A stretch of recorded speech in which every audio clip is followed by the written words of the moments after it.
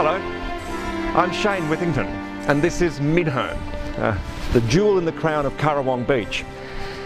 And I need to say that during the 15 year fight to save Currawong, we would never have won without a strong and independent council. But let's have a look at what might have happened had we not had a strong council. For instance, this beautiful 1912 heritage listed homestead, heritage listed now, was going to be bulldozed with D9s and chains. That's a good idea, isn't it? But wait, there's more. And can you imagine? Along this idyllic beach, there was going to be 25 McMansions. 1, 2, 3, 4, 5, 6, 7, 8, 9, 10, 11, 12, 13, 14, 15, 16. It just doesn't bear thinking about. But the outcome of our fight is that you now own it. The people of New South Wales own and love this place and it would never have happened without a strong independent council. There's more. Now to most people, this might seem like an absolutely perfectly beautiful lagoon, and it is.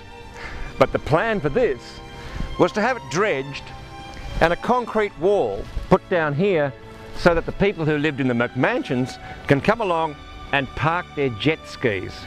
This is why we need to be very careful about handing over our beautiful, beautiful countryside to people like the visionless vandals of the Urban Task Force.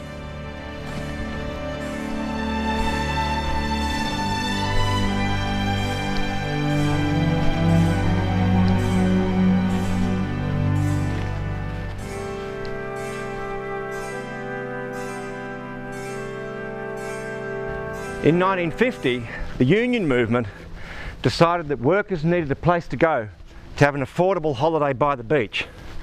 And Currawong is one of the very, very last remaining sites left in Australia. This is priceless Australian heritage. And you know what? Bulldozed every single piece of it.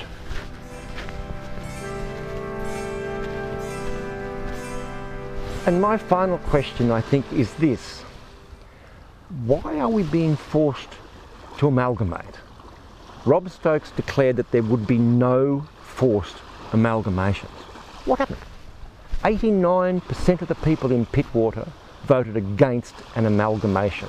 Isn't that a clear enough sign?